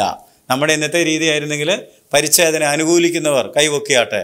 അല്ലെങ്കിൽ അപ്പോൾ എന്താ പറയുക കൈവൊക്കിയാൽ കാണുകയല്ലേ അതുകൊണ്ട് കൈവെക്കണ്ട പിന്നെന്ത് വേണം സീക്രട്ട് ബാലറ്റ് രഹസ്യ ബാലറ്റ് ഉപയോഗിച്ച് ഇങ്ങനെയൊക്കെയാണ് നമ്മൾ തീരുമാനിക്കുന്നത് എന്നാൽ ഈ അടുത്ത സമയത്ത് എന്നോടൊരാൾ ദൈവഹിതം കണ്ടുപിടിച്ചതിനെക്കുറിച്ച് പറഞ്ഞു ഞാൻ ഇടയ്ക്കൊന്ന് പറഞ്ഞോട്ട് അദ്ദേഹം പറഞ്ഞു എൻ്റെ മോന് ഒരു ജോലിക്ക് പോകാനുണ്ട് ഒരു കോഴ്സ് ഉണ്ട് ദൈവഹിതം ഏതാണെന്ന് അറിയാൻ വേണ്ടി ഞങ്ങൾ കടലാസിൽ രണ്ടും എഴുതി ചുരുട്ടിയിട്ടെന്നാണ് പറഞ്ഞത് ചുരുട്ടിയിട്ടിട്ട് ചുരുട്ടിയിട്ടിട്ട് കണ്ണടച്ച് ഒരെണ്ണം എടുക്കുക അപ്പം ഞങ്ങൾ വീട്ടിലുള്ള എല്ലാവരും ഓരോന്ന് എടുക്കും എടുക്കുമ്പോൾ എല്ലാവർക്കും എന്ത് കിട്ടിയോ അതാണ് ദൈവഹിതം എളുപ്പമായല്ലേ ഇങ്ങനെയൊക്കെ നമ്മൾ വീടുകളിൽ ചെയ്യുന്നു സഭകളിൽ ചെയ്യുന്നു പൗലോസൊക്കെ മണ്ടന്മാരെന്ന് പറഞ്ഞിട്ട് എനിക്കറിയാൻ പാടില്ല എന്നാൽ പൗലോസും ഭരണവാസും തീത്തോസും അങ്ങനത്തെ നടപടികളൊന്നും അനുവർത്തിക്കുന്നില്ലെന്നുള്ളതും പ്രസ്താവ്യമാണ് ഇതൊക്കെ നമ്മൾ തിരുത്തി പഠിക്കണം അതുകൊണ്ടാണ് ഞാനിത് എടുത്ത് പറയുന്നത് അവരെല്ലാവരെയും കൂടി ജാതികളെ മുഴുവനും കൂടി റെപ്രസെൻ്റ് ചെയ്യുന്നത് പൗലോസും ഭരണബാസും തീത്തോസും മാത്രമാണ് അല്ലാതെ എല്ലാ സഭകളിൽ നിന്നും രണ്ടുപേര് വേണമെന്നും ജനാധിപത്യ രീതിയിലായിരിക്കണമെന്നും എല്ലാവർക്കും വോട്ടവകാശം വേണമെന്നും വോട്ടേഴ്സ് ലിസ്റ്റ് പ്രസിദ്ധീകരിക്കണമെന്നും അത് നടത്താൻ ഒരു വക്കീൽ വേണമെന്നും ഇങ്ങനത്തെ യാതൊരു നിയമങ്ങളും നിബന്ധനകളും ഞാനിത്രയൊക്കെ പറഞ്ഞാലെങ്കിലും ആരെങ്കിലുമൊക്കെ പഠിക്കട്ടെ എന്ന് വിചാരിച്ചിട്ടാണ് പറയുന്നത് കേട്ടോ ഇങ്ങനത്തെ രീതികളൊന്നും ഒന്നാം നൂറ്റാണ്ടിലെ സഭ അനുവർത്തിച്ചില്ല നമ്മൾ ഒന്നാം നൂറ്റാണ്ടിലെ കാര്യങ്ങളൊക്കെ വേണമെന്ന് പറയും ഈ കാര്യങ്ങളിലൊക്കെ തിരുത്താൻ തയ്യാറുണ്ടോ എന്ന് തയ്യാറാവണ്ടേ തീർച്ചയായിട്ടും വേണം അപ്പോൾ അങ്ങനത്തെ കാര്യങ്ങളൊന്നും ആ കൗൺസിലിൽ നടപ്പിൽ വന്നില്ല എന്നുള്ള കാര്യം അറി അപ്പോൾ ഈ ഡെമോക്രറ്റിക്കായിട്ട് അല്ലെങ്കിൽ ജനാധിപത്യപരമായിട്ടും ജഡീകമായിട്ടുമുള്ള തീരുമാനങ്ങൾ അല്ല എരിശിലേം കൗൺസിലിൽ ഉണ്ടായത് എന്ന് ഓർക്കണം അതിൻ്റെ കാര്യം എന്താണ് ഗലാത്തി ലേഖനം രണ്ടാം അധ്യായത്തിൻ്റെ രണ്ടാം വാക്യം ഗലാത്തി ലേഖനം നമ്മൾ പല പ്രാവശ്യം വായിച്ചു ഞാൻ ഓരോ പ്രാവശ്യം വായിക്കുമ്പോഴും ഓരോന്നാണ് സ്ട്രെസ് ചെയ്യുന്നത് അതുകൊണ്ട് ഞാൻ ഒരു വെളിപ്പാട് അനുസരിച്ച് അത്രേ ഞാൻ ജനകീയ അഭിപ്രായ പ്രകാരം അല്ല പോയത് ഞാൻ എങ്ങനെ പോയത് വെളിപ്പാട് അനുസരിച്ചാ പോയത് ഇങ്ങനെ ചില വെളിപ്പാടുകളൊക്കെ ക്രിസ്തുവിനെ എന്നിൽ വെളിപ്പെടുത്തിയപ്പോൾ ഒന്നാം അധ്യായത്തിന്റെ പന്ത്രണ്ടാം വാക്യം ഒന്നാം അധ്യായം പൗലോസിന്റെ ജീവിതത്തിൽ വെളിപ്പാടിന്റെ പ്രാധാന്യം യേശു ക്രിസ്തുവിന്റെ വെളിപ്പാടിനാൽ അത്രേ പ്രാപിച്ചത് പതിനാറാം വാക്യം തന്റെ പുത്രനെ കുറിച്ചുള്ള സുവിശേഷം ഞാൻ ജാതികളുടെ ഇടയിൽ അറിയിക്കേണ്ടതിന് അവനെ എന്നിൽ വെളിപ്പെടുത്തുവാൻ സാധിച്ചപ്പോൾ അപ്പൊ ഈ രണ്ടധ്യായം വന്നപ്പോ തന്നെ മൂന്ന് വെളിപ്പാട് കഴിഞ്ഞു ഇല്ലേ ഒന്നിന്റെ പന്ത്രണ്ട് ഒന്നിന്റെ പതിനാറ് രണ്ടിന്റെ രണ്ട് അപ്പൊ പൗലോസിന്റെ ജീവിതം മുഴുവൻ വെളിപ്പാടിൽ അധിഷ്ഠിതമാണ് യുക്തിയിലല്ല നിങ്ങൾ ഈ ലേഖനം ശരിക്കും പഠിക്കുകയാണെന്നുണ്ടെങ്കിൽ വെളിപ്പാടും യുക്തിയും അടിമത്വവും സ്വാതന്ത്ര്യവും ഇങ്ങനെ കുറേ കാര്യങ്ങൾ കമ്പയർ ചെയ്ത് പഠിക്കാനായിട്ട് സാധിക്കും വെളിപ്പാടാണോ യുക്തിയാണോ വേണ്ടതെന്ന് ചോദിച്ചാൽ എന്താ നമുക്ക് വേണ്ടത് വെളിപ്പാടാണ് വേണ്ടത് വെളിപ്പാടനുസരിച്ച് എനിക്കറിയാം എങ്ങോട്ടാ പോകുന്നത് എന്തിനാ പോകുന്നത് ഇവിടെ എന്നെ ഗൈഡ് ചെയ്യുന്നത് ആരാണ് എന്തായിരിക്കും റിസൾട്ട് ഇതെല്ലാം പൗലോസിന് അറിയാം കാരണം അല്ലെങ്കിൽ ഞാൻ ഓടിയതും ഒക്കെ വെറുതെ ആകും അങ്ങനെ വൃഥാവാകാതിരിക്കാനായിട്ട് ഞാനൊരു വെളിപ്പാടനുസരിച്ചാണ് ഞാൻ ഡെമോക്രസി അനുസരിച്ചല്ല പോയത് ഞാൻ ജഡീക ആലോചനകൾ അനുസരിച്ചല്ല പോയത് ഞാൻ വെളിപ്പാടനുസരിച്ചാണ് പോയത് അതുകൊണ്ട് ഞാൻ എന്ത് ചെയ്തു രണ്ടാം അധ്യായത്തിൻ്റെ രണ്ടാം വാക്യത്തിൽ പറയുകയാണ് ഞാൻ വെളിപ്പാട് അനുസരിച്ച് ചെന്നിട്ട് ഞാൻ എൻ്റെ പ്രമാണികളോട് കാര്യങ്ങളൊക്കെ വിവരിച്ചു വായിച്ചാട്ടെ രണ്ട് ഞാനൊരു വെളിപ്പാട് അത്ര പോയത് ഞാൻ ഓടുന്നതോ ഓടിയതോ വെറുതെ എന്ന് വരാതിരിക്കുവാൻ ഞാൻ ജാതികളുടെ ഇടയിൽ പ്രസംഗിക്കുന്ന സുവിശേഷം അവരോട് വിശേഷാൽ പ്രമാണികളോട് വിവരിച്ചു അതാണ് ഈ പ്രൈവറ്റ് കൺസൾട്ടേഷൻ എന്ന് പറഞ്ഞത് he came to Jerusalem and explained everything to the leaders of the church സഭയുടെ നേതൃത്വത്തിനോട് പ്രമാണിമാരോട് ഈ കാര്യങ്ങളെല്ലാം വ്യക്തമായിട്ട് വിവരിച്ചു പ്രൈവറ്റ് ആണ് അവിടെ മീറ്റിംഗും കൗൺസിൽ മീറ്റിംഗും ഒന്നും തുടങ്ങിയിട്ടില്ല അതിനു മുമ്പ് തന്നെ എന്താണ് പൗലോസിൻ്റെ ഹൃദയത്തിലിരുന്ന കൺസേൺ വ്യഥ എന്ന് ചോദിച്ചാൽ ജാതികളുടെ ഇടയിൽ ഭാവിയിൽ ഇനി ശുശ്രൂഷ എങ്ങനെയൊക്കെ ആയിരിക്കും പോകാൻ പോകുന്നത് ഈ കൗൺസിലും അപ്പോസോലന്മാരും ഒക്കെ ഈ കാര്യം സമ്മതിക്കുന്നില്ലെങ്കിൽ ഇവർ ന്യായപ്രമാണം അനുസരിക്കേണ്ടി വരും പരിച്ഛേദന ഏൽക്കേണ്ടി വരും അത് സുവിശേഷത്തിന് വിരുദ്ധമാണ് അതൊരു കാരണവശാലും ദൈവം അനുവദിക്കരുത് ദൈവം ഒരു തീരുമാനം ഉണ്ടാക്കണം ഈ ഒരു കൺസേണിനോട് കൂടിയാണ് പൗലോസ് വന്നിരിക്കുന്നത് അപ്പോൾ സഭയുടെ തൂണുകളായി എണ്ണപ്പെട്ടിരുന്ന കേഫാവ് യോഹന്നാൻ യാക്കോബ് ആ ആ ആ ആളുകൾ ആ ഈ സഭയുടെ തൂണുകളായിട്ട് എണ്ണപ്പെട്ടിരിക്കുന്ന ആളുകൾ യഹൂദ മതാനുസാരികളെ തുണച്ചാൽ വിട്ടുവീഴ്ച ചെയ്തിട്ട് അതും കൂടി ഇരിക്കട്ടെ എന്ന് പറഞ്ഞാൽ സുവിശേഷം അതോടുകൂടി സുവിശേഷം അല്ലാതായി മാറും വികലമായ ഒരു സുവിശേഷമായിരിക്കും പിന്നീട് വരാൻ പോകുന്നത് അതിൻ്റെ ഫലം അതിൻ്റെ പ്രത്യാഘാതം ദൂരവ്യാപകമായിട്ടുണ്ടാകാൻ പോകുന്ന കാര്യങ്ങൾ എല്ലാം മനസ്സിലാക്കിയിട്ടാണ് ആദ്യം തന്നെ പ്രമാണിമാരുമായിട്ട് ഈ കാര്യങ്ങൾ സംസാരിച്ചത് രണ്ടാം അധ്യായത്തിന് അഞ്ചാം വാക്യം ഞാൻ തുടക്കത്തിൽ പറഞ്ഞിരുന്നു സുവിശേഷത്തിന്റെ സത്യം ആ നിങ്ങളോട് കൂടെ നിലനിൽക്കേണ്ടതിന് സുവിശേഷത്തിന്റെ സത്യം നിലനിൽക്കണം എന്ന് താൻ ആഗ്രഹിച്ചു അപ്പോൾ ഈ പറഞ്ഞ കാര്യം പ്രമാണിമാര് എഗ്രി ചെയ്തു അല്ലേ പൗലോസിനെ തിരുത്താൻ ഏതെങ്കിലും പ്രമാണി തയ്യാറായതായിട്ട് എഴുതിയിട്ടുണ്ടോ ഇവിടെയോ അപ്പോൾ സ്വലപ്രവൃത്തി പതിനഞ്ചാം അധ്യായത്തിലോ നമ്മൾ കാണുന്നില്ല പൗലോസ് പറഞ്ഞ ആശയങ്ങളെ എല്ലാ പ്രമാണിമാരും അംഗീകരിച്ചു കാരണം അദ്ദേഹം പോയത് ഒരു വെളിപ്പാട് അനുസരിച്ചാണ് ആ വെളിപ്പാട് കൊടുത്ത ദൈവം അതിൻ്റെ പിന്നിൽ പ്രവർത്തിക്കുന്നത് കൊണ്ട് ഞാൻ നേരത്തെ പറഞ്ഞതുപോലെ പ്രമാണിമാരാരും ആ തെറ്റായ ഉപദേശത്തിന് സൈഡ് നിന്നില്ല അത് അത് ഇരിക്കട്ടെ ഒരു വിട്ടുവീഴ്ച ചെയ്യാം എന്നവരാരും പറഞ്ഞതായിട്ട് നാം കാണുന്നില്ല സുവിശേഷത്തിൻ്റെ സത്യം അവരോടുകൂടെ ജാതികളോടുകൂടെ നിലനിൽക്കുന്നതിനായിട്ട് ജാതികളും ഈ സത്യത്തിൽ നിലനിൽക്കുന്നതിനായിട്ട് കർത്താവ് വഴി തുറന്നു അല്ലെങ്കിൽ പരിശുദ്ധാത്മാവ് സുവിശേഷത്തിൻ്റെ സത്യം വെളിപ്പെടുത്തി യഹൂദ മതാനുസാരികൾ പറഞ്ഞതിനേക്കാൾ അപ്പുറത്തേക്ക് യഥാർത്ഥത്തിൽ സുവിശേഷം എന്താണെന്നുള്ളത് ദൈവം തന്നെ വെളിപ്പെടുത്തി അതുകൊണ്ട് ചില സ്ഥലങ്ങളൊക്കെ നിങ്ങൾ വേദപുസ്തകം വായിക്കുമ്പോൾ പൗലോസ് ഇങ്ങനെ പറയാറുണ്ട് എൻ്റെ സുവിശേഷം നിങ്ങൾ വായിച്ചിട്ടില്ലെങ്കിൽ ഒരു വാക്യം ഞാൻ വായിപ്പിക്കാം റോമലേഖനൻ രണ്ടാം അധ്യായത്തിൻ്റെ പതിനാറാം വാക്യം നവ് ദ ഗോസ്പൽ ബിക്കംസ് നമ്മൾ പറഞ്ഞു തുടങ്ങിയത് കർത്താവ് സുവിശേഷം പറഞ്ഞു തുടങ്ങിയെന്നും കർത്താവാണ് പ്രസംഗിച്ചതെന്നൊക്കെയാണ് പക്ഷേ കുറേ കഴിയുമ്പോൾ പൗലൂസ് വളരെ ആർജവത്തോടു കൂടി പറയുന്നുണ്ട് എൻ്റെ സുവിശേഷം എന്താണ് അങ്ങനെ പറയാൻ കാര്യം ദൈവം യേശുക്രിസ്തു മുഖാന്തരം മനുഷ്യരുടെ രഹസ്യങ്ങളെ എന്റെ സുവിശേഷ പ്രകാരം എന്റെ സുവിശേഷ പ്രകാരം എന്താ അതൊരു പ്രത്യേക തനിമയുള്ളൊരു പ്രയോഗമാണ് എന്താണ് അർത്ഥം എന്ന് ചോദിച്ചാൽ സുവിശേഷത്തെ പലരും പലതരത്തിലൊക്കെ വ്യാഖ്യാനിക്കാനും വികലമാക്കാനും ഭംഗിയാക്കാനും ഒക്കെ ശ്രമിച്ചിട്ടുണ്ട് പക്ഷേ എൻ്റെ ഒരു നിലപാടുണ്ട് എത്ര കൺവിക്ഷൻ ഉണ്ടെന്നുള്ളത് അവിടെ കാണേണ്ടത് ഈ കൺവിക്ഷൻ നമുക്ക് വേണ്ടേ എൻ്റെ സുവിശേഷ പ്രകാരം എൻ്റെ സുവിശേഷ പ്രകാരം നിങ്ങളെ ന്യായം വിധിക്കുമെന്നാണ് പറയുന്നത് എത്ര ആഴമായിട്ടുള്ളൊരു കൺവിക്ഷനാണ് പൗലോസിൻ്റെ ഹൃദയത്തിൽ ഇരിക്കുന്നത് അപ്പം ഈ തൻ്റെ സുവിശേഷ ദർശനമാണ് ആരുമായിട്ട് പങ്കുവച്ചത് പ്രമാണിമാരുമായിട്ട് അവരാരും പൗലോസിനെ തിരുത്തിയില്ല എന്ന് ഞാൻ പറഞ്ഞ് ശ്രദ്ധിക്കണം നാവ് ദ സെക്കൻഡ് സ്റ്റെപ്പ് രണ്ടാമത്തെ പടിയായിട്ടാണ് പബ്ലിക് കൺവൊക്കേഷൻ നമ്മൾ രണ്ടാം അധ്യായത്തിൻ്റെ മൂന്ന് മുതൽ അഞ്ച് വരെയുള്ള വാക്യങ്ങൾ വായിക്കുമ്പോൾ എന്റെ കൂടെയുള്ള തിത്തോസ് യവനനെങ്കിലും പരിച്ഛേദന ഏൽക്കുവാൻ അവനെ ആരും നിർബന്ധിച്ചില്ല അതോ നുഴഞ്ഞു വന്ന കള്ള സഹോദരന്മാർ നിമിത്തമായിരുന്നു അവർ നമ്മെ അടിമപ്പെടുത്തേണ്ടതിന് ക്രിസ്തുവേശുവിൽ നമുക്കുള്ള സ്വാതന്ത്ര്യം ഒറ്റുനോക്കുവാൻ തുഴഞ്ഞു വന്നിരിക്കുന്നു സുവിശേഷത്തിന്റെ സത്യം നിങ്ങളോട് കൂടെ നിലനിൽക്കേണ്ടതിന് ഞങ്ങൾ അവർക്ക് ഒരു നാഴിക പോലും വഴങ്ങിക്കൊടുത്തില്ല ഈ വാക്യങ്ങൾ പരിശോധിച്ച് നോക്കുമ്പോൾ കാണുന്ന ഒരു കാര്യം എന്താണെന്ന് ചോദിച്ചാൽ പബ്ലിക് കൺവക്കേഷൻ നമ്മൾ പല പ്രാവശ്യം ഇതിനോടകം പരിശോധിച്ചതുകൊണ്ട് ഞാൻ നേരത്തെ പറഞ്ഞ പോലെ വേണമെങ്കിൽ അല്പം സ്പീഡിൽ പോകുന്നതിനും കുഴപ്പമില്ല പ്രമാണിമാരുമായിട്ടുള്ള പ്രൈവറ്റ് കൺസൾട്ടേഷൻ ഇപ്പോൾ ആദ്യമാണ് നമ്മൾ ചർച്ച ചെയ്തത് എന്നാൽ പൊതുവായിട്ട് വേദിയിൽ ഈ പ്രൈവറ്റ് കൺസൾട്ടേഷൻ കഴിഞ്ഞതിന് ശേഷം എല്ലാവരും വന്നു അപ്പോസലന്മാർ വന്നു തൂണുകൾ വന്നു അതുപോലെ തന്നെ പൗലോസും പൗലോസിൻ്റെ രണ്ട് സഹോദരന്മാർ ഭരണബാസും തീത്തോസും വന്നു ഇവരെല്ലാവരും കൂടെ ഒരുമിച്ചിരിക്കുകയാണ് ഒരുമിച്ചിരിക്കുമ്പോൾ ഒരുപാട് ഒരു ചരിത്ര സംഭവമാണ് കേട്ടോ ചരിത്രത്തിൻ്റെ ഒരു നാഴികക്കല്ലാണ് ഈ അപ്പോസ്വല പ്രവൃത്തി പതിനഞ്ചാം അധ്യായം എന്ന് പറയുന്നത് കാരണം അവിടെയാണ് എന്തായിരിക്കണം സുവിശേഷം എന്നുള്ളതിനൊരു നിർവചനം വ്യക്തമായിട്ട് ഉണ്ടാകുന്നത് അപ്പോൾ അവിടെ ഒരുപാട് സാക്ഷ്യങ്ങളും പ്രബോധനങ്ങളും വാദങ്ങളും തർക്കങ്ങളും ഒക്കെ ഉണ്ടായിട്ട് ഒരു തീരുമാനത്തിലേക്ക് ഈ മീറ്റിങ്ങിനെ നയിക്കുന്നതിനായിട്ട് നടപടികൾ സ്വീകരിച്ചത് ചില ആളുകളാണ് അതിലൊന്നാമത്തേത് പത്രോസാണ് പതിനഞ്ചാം അധ്യായത്തിൻ്റെ അപ്പോസോല പ്രവൃത്തി പതിനഞ്ചിൻ്റെ ഏഴ് മുതൽ പതിനൊന്ന് വരെ വായിക്കണമെന്നില്ല ഏഴ് മുതൽ പതിനൊന്ന് വരെ അധ്യായങ്ങൾ വാക്യങ്ങൾ നാം വായിക്കുമ്പോൾ പൗലോസ് എഡ് പത്രോസ് എടുത്തു പറഞ്ഞൊരു കാര്യം എന്താണെന്ന് ചോദിച്ചാൽ അവർക്കും നമുക്കും തമ്മിൽ പത്താം വാക്യം ഒന്ന് വായിക്കാം പതിനഞ്ചിന്റെ പത്തൊന്ന് വായിക്കാം ആകയാൽ നമ്മുടെ പിതാക്കന്മാർക്കും നമുക്കും ചുമക്കുവാൻ കഴിഞ്ഞിട്ടില്ലാത്ത മുഖം ശിഷ്യന്മാരുടെ കഴുത്തിൽ വെക്കുവാൻ നിങ്ങൾ ഇപ്പോൾ ദൈവത്തെ പരീക്ഷിക്കുന്നത് എന്ത് കർത്താവായ യേശുവിന്റെ കൃപയാൽ രക്ഷ പ്രാപിക്കുമെന്ന് നാം വിശ്വസിക്കുന്നത് പോലെ അവരും വിശ്വസിക്കുന്നു ജനസമൂഹമെല്ലാം മിണ്ടാതെ ബർണബാസും പൗലോസും ദൈവം തങ്ങളെ കൊണ്ട് ജാതികളുടെ ഇടയിൽ ചെയ്യിച്ച അടയാളങ്ങളും നമ്മളവിടെ അവർക്കും നമുക്കും തമ്മിൽ ഒരു വ്യത്യാസവും വെച്ചിട്ടില്ല വെച്ചിട്ടില്ല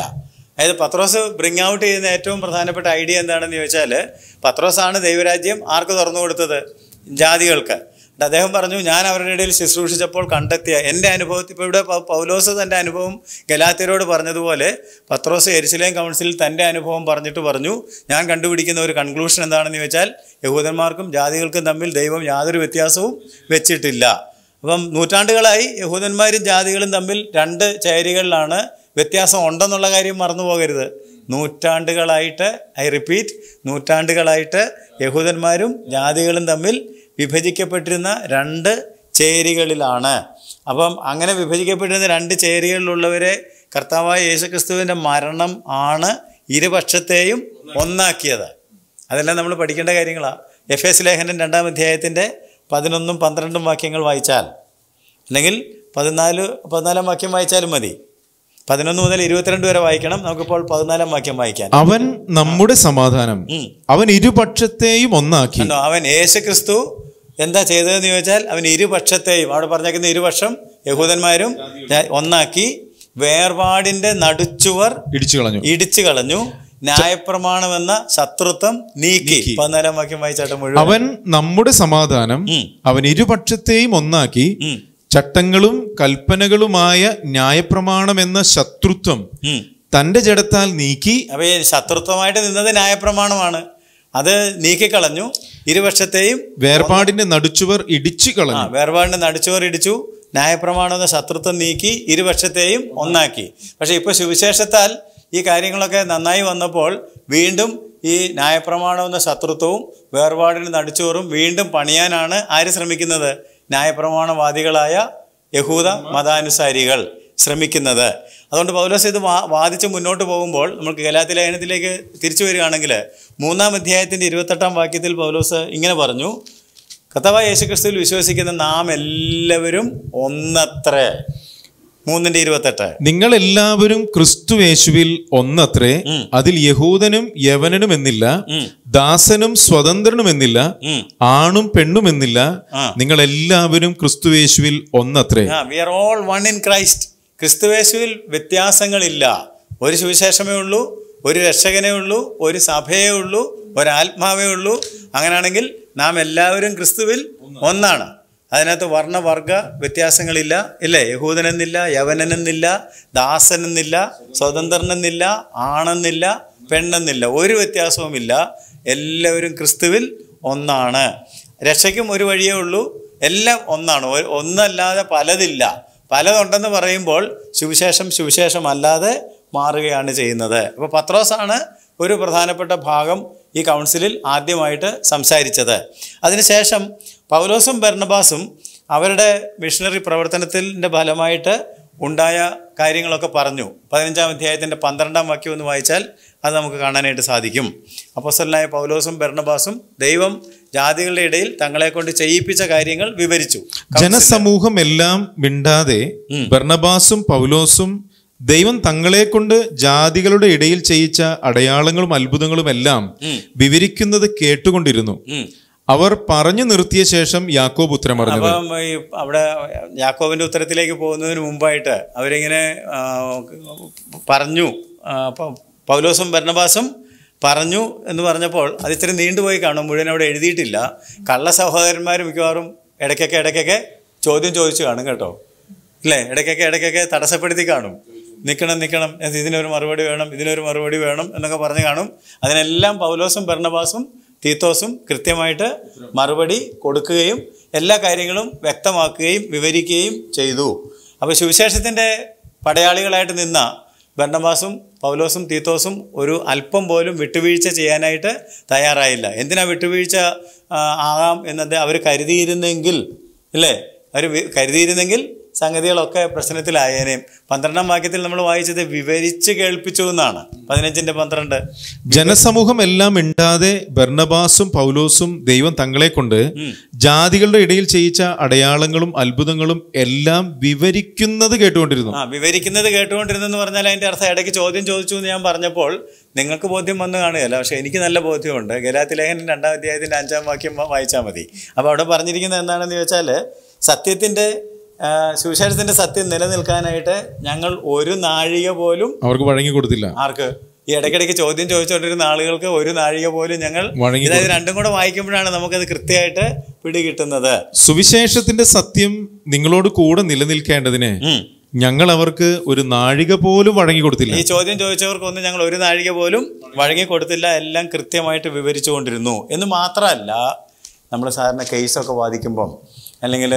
നമ്മളൊരു ആപ്ലിക്കേഷനൊക്കെ അയക്കുമ്പം അതിൻ്റെ അവസാനമായിട്ട് തെളിവായിട്ട് ചില രേഖകളൊക്കെ ഹാജരാക്കാറുണ്ടല്ലോ ഇല്ലേ എക്സിബിറ്റ് എന്നൊക്കെ പറയും ഒരു കേസിലാണ് എക്സിബിറ്റ് വൺ എക്സിബിറ്റ് ടു അങ്ങനെയാണെങ്കിൽ ഈ ഭരണവാസവും പൗലോസും കൂടെ ഒരു തെളിവായിട്ട് കൊണ്ടുവന്നേക്കാണ് ഇപ്പോൾ ആരെ തീത്തോസിനെ ഞാൻ പറഞ്ഞൊക്കെ മനസ്സിലായി തീത്തോസ് ആരായിരുന്നു യവനൻ തീത്തോസ് സഹപ്രവർത്തകൻ യവനൻ അപ്പോൾ യവനന്മാരുടെ കൂട്ടത്തിൽ നിന്ന് വിശ്വാസത്തിലേക്ക് വന്നിരിക്കുന്ന ഈ തീത്തോസിനെ ഒരു തെളിവായിട്ടാണ് കൂടെ കൂട്ടി കൊണ്ടുവന്നിരിക്കുന്നത് അദ്ദേഹത്തോട് തന്നെ ചിലപ്പോൾ ചോദിച്ചിട്ട് ചില കാര്യങ്ങളൊക്കെ ഈ കള്ള സഹോദരന്മാർക്ക് മനസ്സിലാക്കാനുള്ള അവസരം കൊടുത്തും കാണും ഇതിനും ശേഷമാണ് ഇപ്പം ഞാൻ മൂന്ന് ആളുകളുടെ കാര്യം പറഞ്ഞു മൂന്ന് രണ്ട് ടൈപ്പ് കഴിഞ്ഞു ഒന്ന് പത്രോസ് സംസാരിച്ചു രണ്ട് പൗലോസും ഭരണവാസും ഒക്കെ സംസാരിച്ചു മൂന്നാമത് കൺക്ലൂഷനായിട്ടാണ് ആര് സംസാരിക്കുന്നത് യാക്കോബ് അപ്പോൾ യാക്കോബ് ഈ കൗൺസിലിൻ്റെ അധ്യക്ഷനായിരുന്നതുകൊണ്ട് പതിനഞ്ചാം അധ്യായത്തിൻ്റെ പതിമൂന്ന് മുതൽ ഇരുപത്തൊന്ന് വരെയുള്ള വാക്യങ്ങളിലാണ് അദ്ദേഹത്തിൻ്റെ പ്രസംഗം കിടക്കുന്നത് ഒരു ഫൈനൽ കൺക്ലൂഷൻ അപ്പോൾ അദ്ദേഹം വിവരിക്കുന്നത് പതിനാലാം വാക്യം വായിക്കുകയാണെങ്കിൽ ദൈവം തൻ്റെ നാമത്തിനായി ജാതികളിൽ നിന്ന് ഒരു ജനത്തെ എടുത്തുകൊള്ളുവാനായിട്ട് കടാക്ഷിച്ചത് വായിച്ചാട്ടെ ദൈവം തന്റെ നാമത്തിനായി ജാതികളിൽ നിന്ന് ഒരു ജനത്തെ എടുത്തുകൊള്ളുവാൻ ആദ്യമായി കടാക്ഷിച്ചത് ഷീമോൻ വിവരിച്ചുവല്ലോ ഇതിനോട് പ്രവാചക വാക്യങ്ങളും ഒക്കുന്നു അപ്പൊ അതിന്റെ അർത്ഥം എന്താ പത്രോസ് പറഞ്ഞതിനോടും പൗലോസ് പറഞ്ഞതിനോടും ഞാനും യോജിക്കുന്നു എന്നാണ് യാക്കോബ് സ്ഥാപിക്കുന്നത് അപ്പോൾ അതിൻ്റെ ചുരുക്കം എന്താണെന്ന് ചോദിച്ചാൽ ഈ പൗലോസ് പ്രസംഗിച്ച പൗലോസ് മുന്നോട്ട് വെച്ച വാദത്തെ എതിർക്കാനായിട്ട് ആരും എരിശിലേം കൗൺസിലിൽ വന്ന മൂപ്പന്മാരും ആരും തയ്യാറാകുന്നില്ല അപ്പോൾ അതാണ് സുവിശേഷം അതിനെതിരെ വന്ന ഒരു വാദത്തെയും അംഗീകരിക്കാനായിട്ട് അവിടെ തീരുമാനം ഉണ്ടാകുന്നില്ല അപ്പോൾ എരിശിലേം കൗൺസിലിൻ്റെ അലയൊലി ഗലാത്തിയയിൽ എത്തിയിട്ടുണ്ട് അതുകൊണ്ടാണ് ഗലാത്തിലേഖന അഞ്ചിൻ്റെ ഒന്നിൽ നാം വായിക്കുന്നത് അടിമനുഖത്തിൻ്റെ കീഴിൽ നിങ്ങൾ കുടുങ്ങിപ്പോകരുത് എന്താ ഈ അടിമനുഖം കൗൺസിലിൽ പറഞ്ഞായിരുന്നല്ലോ പതിനഞ്ചിൻ്റെ പത്തിൽ പറഞ്ഞായിരുന്നു നമുക്കും നമ്മുടെ പിതാക്കന്മാർക്കും ചുമക്കാൻ കഴിയാതിരുന്ന മുഖം നാം ഇവരുടെ മേൽ വെക്കരുത് അപ്പം അത് ഓർമ്മപ്പെടുത്തിക്കൊണ്ടാണ് പൗലോസ് പറയുന്നത് നിങ്ങൾ ഇനിയും ആ അടിമനുഖത്തിന്റെ ന്യായപ്രമാണമാകുന്ന അടിമനുഖത്തിലേക്ക് പോകരുത് സ്വാതന്ത്ര്യത്തിനായിട്ട് ക്രിസ്തു നമ്മെ സ്വതന്ത്രരാക്കി ആകയാൽ അതിൽ ഉറച്ചു നിൽക്കുവിൻ അടിമനുഖത്തിൽ പിന്നെയും കുടുങ്ങി പോകരുത് അതുകൊണ്ട് നിങ്ങൾ ഈ കല്ലാത്തിലേഖനം ശ്രദ്ധിച്ച് വായിക്കുകയാണെങ്കിൽ അടിമത്തം സ്വാതന്ത്ര്യം ആവർത്തിച്ചു വരുന്ന ഒരു പ്രയോഗമാണ് അടിമത്തം സ്വാതന്ത്ര്യം പരിച്ഛേദന ആവർത്തിച്ചു വരുന്ന ഒരു ചിന്തയാണ് നമ്മൾ താഴോട്ട് പഠിക്കുമ്പം അതെല്ലാം നമുക്ക് നോക്കാം ഏതാണെങ്കിലും പ്രശംസനീയമായ ഒരു ധീരതയാണ് ഈ കൗൺസിലിൽ ആര് കാണിച്ചത് പൗലോസപ്പോസോലൻ കാണിച്ചത് എന്തിനു വേണ്ടി രണ്ടു പ്രാവശ്യം ഞാൻ പറഞ്ഞു സുവിശേഷത്തിൻ്റെ സത്യത്തിനു വേണ്ടി രണ്ടാം അധ്യായത്തിൻ്റെ അഞ്ചാം വാക്യവും രണ്ടാം അധ്യായത്തിൻ്റെ പതിനാലാം വാക്യവും സുവിശേഷത്തിന്റെ സുവിശേഷത്തിന്റെ സത്യം ആ അത് നിലനിൽക്കുന്നതിനായിട്ട് അവർ സുവിശേഷത്തിന്റെ സത്യം അനുസരിച്ച് അപ്പൊ ഈ അതിന്റെ പിന്നെ ഒരു കാര്യം കൂടെ മനസ്സിലാക്കണം ഈ സുവിശേഷത്തിന്റെ സത്യം എന്താണെന്ന് ചോദിച്ചാൽ നമ്മൾ നേരത്തെ പൗലോസിന്റെ മാനസാന്തരം പഠിച്ചപ്പോൾ പഠിച്ചതുപോലെ ദൈവം കൃപയാൽ യേശുക്രിസ്തു മൂലം മറ്റുള്ളവരുടെ അനുഗ്രഹത്തിനായി ദൈവനാമ മഹത്വനായി ഒരുത്തനെ രക്ഷിക്കുന്നു അപ്പം അതിനകത്ത് ദൈവം കൃപയാൽ രക്ഷിക്കുന്നു എന്നുള്ളതല്ലാതെ വേറെ എന്തെങ്കിലും ന്യായപ്രമാണം വേണം പരിച്ഛേദന വേണം ആ കാര്യം കൂടെ വേണം ഈ കാര്യം കൂടെ വേണം അങ്ങനെയൊന്നും ആഡ് ചെയ്യുന്നില്ല എന്നാൽ ഈ സുവിശേഷം വികലമാകുന്നത് എങ്ങനെയാണെന്ന് ചോദിച്ചാൽ ഈ സുവിശേഷത്തിൻ്റെ കൂടെ ദൈവകൃപയുടെ സുവിശേഷത്തിൻ്റെ കൂടെ നല്ല പ്രവൃത്തികൾ ചേർക്കുന്നു പത്ത് കൽപ്പനകൾ ചേർക്കുന്നു സ്നാനം ചേർക്കുന്നു സഭാംഗത്വം ചേർക്കുന്നു ആചാരങ്ങൾ ചേർക്കുന്നു അനുഷ്ഠാനങ്ങൾ ചേർക്കുന്നു ഇങ്ങനെ പലതും പലതും പലതും വേണമെങ്കിൽ നമുക്ക് ചേർക്കാം അപ്പം സുവിശേഷം കൃപയും വിശ്വാസവും മാത്രമേ ഉള്ളൂ അതിൻ്റെ കൂടെ രണ്ട് പ്ലസ് വേറെ ഇട്ടാൽ അത് തെറ്റായ സുവിശേഷം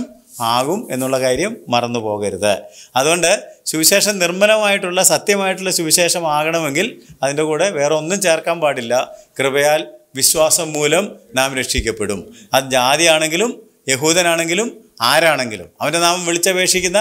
ഏവനും രക്ഷിക്കപ്പെടും അവസാനമായിട്ട് നമ്മൾ ഈ പഠനത്തിൻ്റെ അവസാന ഭാഗത്തേക്ക് വരുമ്പോൾ പേഴ്സണൽ കൺഫർമേഷൻ അതായത് ഈ കാര്യങ്ങളൊക്കെ ഇപ്പോൾ നമ്മൾ രണ്ടിടത്ത് പൗലോസ് ജയിച്ചു എവിടെയൊക്കെ ജയിച്ചു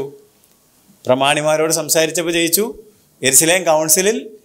ജയിച്ചു ജയിച്ചെന്ന് പറഞ്ഞാൽ അദ്ദേഹം ജയിച്ചു എന്നുള്ളതല്ല സുവിശേഷം ജയിച്ചു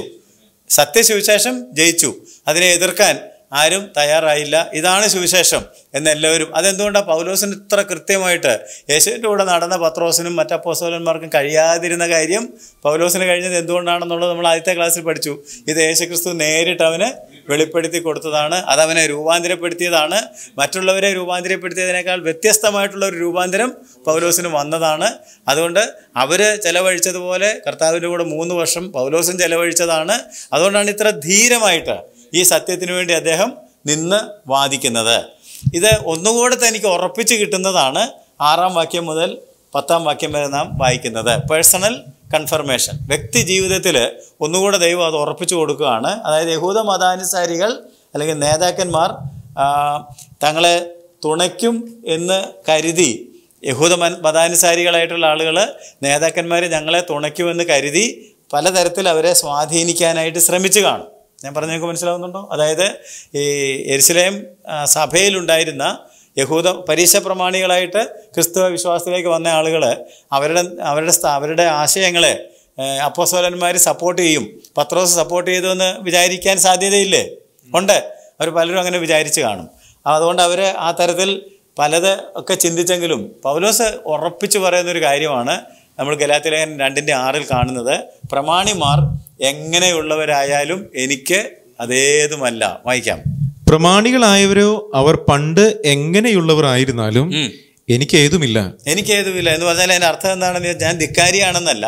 ഞാൻ അവരെ റെസ്പെക്ട് ചെയ്യുന്നുണ്ട് റെസ്പെക്ട് ചെയ്തില്ലായിരുന്നെങ്കിൽ അവരെ കൺസൾട്ട് ചെയ്യുകയല്ലായിരുന്നല്ലോ ഞാൻ പറഞ്ഞ മനസ്സിലായി റെസ്പെക്ട് ചെയ്യുന്നില്ലായിരുന്നെങ്കിൽ പോവില്ലായിരുന്നു അല്ല നേരത്തെ തന്നെ പത്രോസിനെ കാണാൻ ആഗ്രഹിച്ച് പതിനഞ്ച് ദിവസം പത്രോസിൻ്റെ കൂടെ ചെലവഴിക്കുമായിരുന്നില്ല അപ്പോൾ അവരോടൊന്നും ബഹുമാനമില്ല ധിക്കാരിയാണെന്നല്ല പറഞ്ഞത് അവരെ പക്ഷേ അവർ പറയുന്നത് എനിക്ക് പ്രശ്നമല്ല കാരണം എന്നോട് അവരെക്കാൾ അപ്പുറത്ത് ആര് പറഞ്ഞിട്ടുണ്ട് കർത്താവ് പറഞ്ഞിട്ടുണ്ട് ഏഴാം വാക്യം നേരെ മറിച്ച് പരിച്ഛേദനയുടെ അപ്പസ്തോലത്വത്തിനായി പത്രോസിനോട് കൂടെ വ്യാപരിച്ചവൻ ജാതികൾക്കായി എന്നോട് കൂടെയും വ്യാപരിച്ചതുകൊണ്ട് ആ ദൈവകൃപ എന്നോട് കൂടെ വ്യാപരിച്ചു ദൗത്യ നിർവഹണത്തിനായി എൻ്റെ കൂടെ വ്യാപരിക്കുന്ന ഒരു ദൈവകൃപയെക്കുറിച്ച്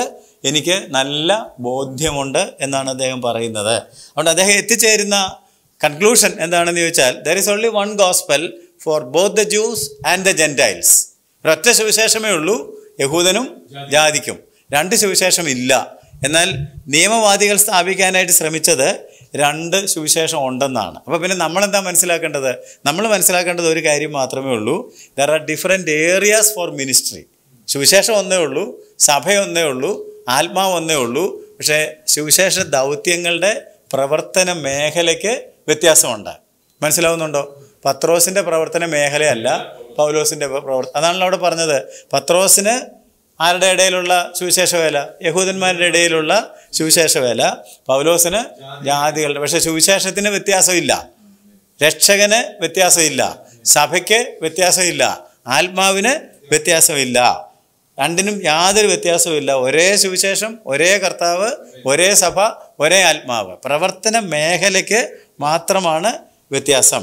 അത് അറിയാവുന്നത് കൊണ്ടാണ് പത്രോസ് ജാതികളോട് സുവിശേഷം പറഞ്ഞിട്ടുണ്ട് പൗലോസ് യഹൂദന്മാരോട് സുവിശേഷം പറഞ്ഞിട്ടുണ്ട് പൗലോസിന് പലപ്പോഴും തൻ്റെ മറ്റ് ലേഖനങ്ങളൊക്കെ വായിച്ചാൽ തൻ്റെ സ്വജാതിക്കാർക്ക് വേണ്ടി വേർപെട്ട് ശാപഗ്രസ്തനാകാൻ വരെ ആഗ്രഹമുണ്ടായിരുന്നു യഹൂദന്മാർ മുഴുവൻ നശിച്ചു പോകണമെന്നൊന്നും അദ്ദേഹം ആഗ്രഹിച്ചിട്ടില്ല ജാതികളുടെ അപ്പസ്തോലനായതുകൊണ്ട് അതുകൊണ്ട് ഈ എരിശിലേം കൗൺസിലിൻ്റെ പ്രത്യേകത നമ്മൾ കാണേണ്ടത് എന്താണെന്ന് ചോദിച്ചാൽ ഈ ഈ സുവിശേഷത്തിനകത്ത് എന്തെങ്കിലും ഒരു വ്യത്യാസം ഉണ്ടെന്ന് പറയുകയായിരുന്നെങ്കിൽ അവിടെ ഒരു സഭയ്ക്ക് ഒന്നാമത്തെ സ്പ്ലിറ്റ് ഉണ്ടാകാനുള്ള സാധ്യത ഉണ്ടായിരുന്നു നിങ്ങളത് കാണുന്നുണ്ടോ സ്പ്ലിറ്റ് ഉണ്ടാകാനുള്ള സാധ്യത ഉണ്ടായിരുന്നു സുവിശേഷം എന്താണെന്നുള്ളതിനെക്കുറിച്ച് ഡിസഗ്രിമെൻ്റ് ഉണ്ടാകാനുള്ള സാധ്യതയുണ്ടായിരുന്നു അപ്പം ഡിസഗ്രിമെൻറ്റും ഡിവിഷനും ഇല്ലാതായിപ്പോയി ആരുടെ നിലപാട് കൊണ്ടാണ് അപ്പോസൊല്ലായ പൗലോസിൻ്റെ നിലപാട് കൊണ്ട് എന്നിട്ട് എന്താ ഉണ്ടായത് it ended in cooperation and agreement and unity ഐക്യതയിലും എല്ലാവരും ഒരേ കാര്യത്തിൽ യോജിക്കുന്നതിലുമൊക്കെയാണ് അല്ലെങ്കിൽ സങ്കീർത്തനത്തിൽ നാം വായിക്കുന്ന ഒരു ഇതാ സഹോദരന്മാർ ഒത്തൊരുമിച്ച് വസിക്കുന്നത് എത്ര ശുഭവും എത്ര മനോഹരവും അവിടെയല്ലോ ദൈവം ശാശ്വതമായ അനുഗ്രഹങ്ങൾ കൽപ്പിച്ചിരിക്കുന്നത് നൂറ്റി മുപ്പത്തി മൂന്നാം സങ്കീർത്തനത്തിൻ്റെ ഒന്നാം വാക്യമാണ് അതുകൊണ്ട് നമ്മൾ നമ്മുടെ ലേണിങ്ങിന് വേണ്ടി നമ്മുടെ പഠനത്തിന് വേണ്ടി ഓർത്തിരിക്കേണ്ട കാര്യം എന്താണെന്ന് ചോദിച്ചാൽ ദൈവം പലരെയും പല ദൗത്യങ്ങൾക്കായിട്ട് വിളിക്കും പക്ഷേ ഏത് ദൗത്യത്തിന് ഏത് ജനത്തിൻ്റെ അടുക്കൽ നമ്മളെ അയച്ചാലും നമ്മളെ വടക്കേ ഇന്ത്യക്ക് അയച്ചാലും തെക്കേ ഇന്ത്യക്ക് അയച്ചാലും അമേരിക്കയ്ക്ക് അയച്ചാലും പാകിസ്ഥാനിലേക്ക് അയച്ചാലും നമ്മൾ പ്രസംഗിക്കേണ്ടത് ഒരൊറ്റ സുവിശേഷം ഒരൊറ്റ യേശു മാത്രമാണ് നമുക്ക് പണിയാനുള്ളത് ഒറ്റ ദൈവരാജ്യം ഒറ്റ ദൈവത്തിൻ്റെ സഭ and there is no competition നമ്മൾ തമ്മിൽ യാതൊരു തരത്തിലുള്ള മത്സരത്തിൻ്റെയും ആവശ്യമില്ല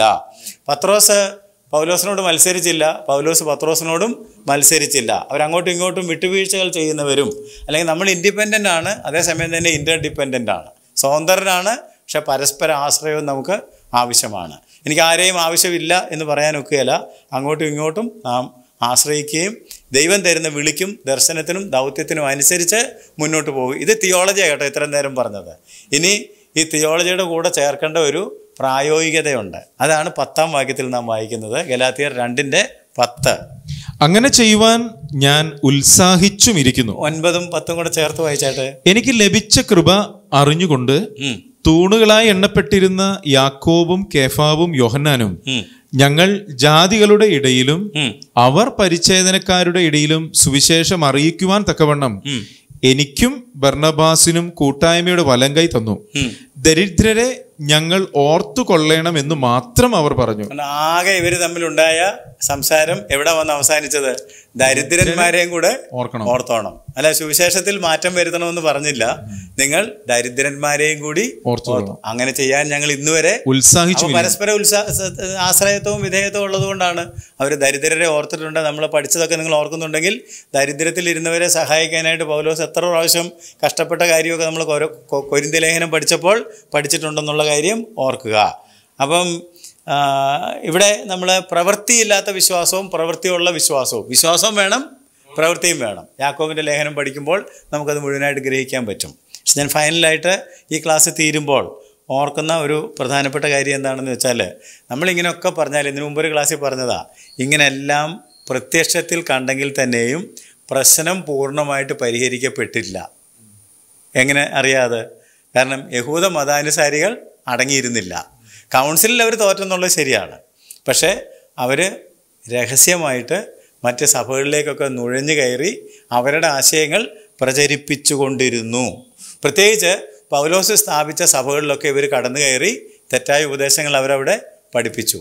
അതുകൊണ്ടാണ് ഈ ലേഖനം എഴുതേണ്ടി വന്നത് അതുകൊണ്ടാണ് പൗലോസിന് ഒരു ഫൈറ്റിംഗ് എപ്പിസിൽ ഞാനിപ്പോൾ പറഞ്ഞ കാര്യം മനസ്സിലായോ കൗൺസിലിൽ പ്രത്യക്ഷത്തിൽ ഒരു പ്രശ്നം ഉണ്ടായില്ല പ്രമാണിമാരെടുക്ക പ്രശ്നം ഉണ്ടായില്ല ഒരുമിച്ചിരുന്നപ്പോൾ പ്രശ്നം ഉണ്ടായില്ല പക്ഷേ ഈ കൗൺസിലിൽ അവർക്കൊരു സ്ഥാനം കിട്ടാതെ പോയതുകൊണ്ട് ഇവർ